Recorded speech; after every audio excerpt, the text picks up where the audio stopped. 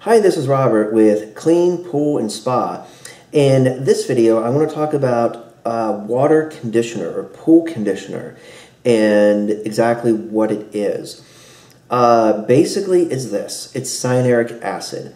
There's many different names for things. You can call it cyanuric acid or pool conditioner, stabilizer. It's all the same thing. Okay, uh, I have my theory as to why uh, they have different names for it, but in essence, in effect, it's all the same thing cyanuric acid, conditioner, and stabilizer. Now, for your cyanuric acid, you want to keep, keep that level between 30 to 50 parts per million. Where do you find cyanuric acid? Uh, you find it in two main sources. One is the trichlor pucks uh, or tabs that you can use a, I suggest you get a tab floater. Don't put the tabs in the skimmer ever. Get a tab floater, put it in there, throw it in, throw it in the pool, let it float around. You get them in birds and duckies and frogs and all kinds of cute stuff.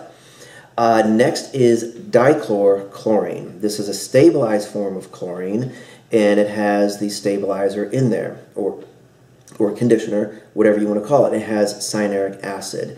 And the only time that, that you want to use dichlor is when you need to add uh, a conditioner to your water, such as a new refill, or if your cyanuric acid is a little low, low meaning maybe 20 or 10 or below, you want to get some cyanuric acid in there or conditioner, uh, then go ahead and use dichlor, chlorine.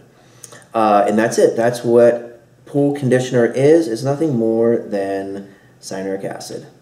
So like, subscribe, comment. Please check out the description box below. It has my website, cleanpoolandspa.com. Lots of great information over there. So thanks for watching. Be safe and happy swimming. Bye.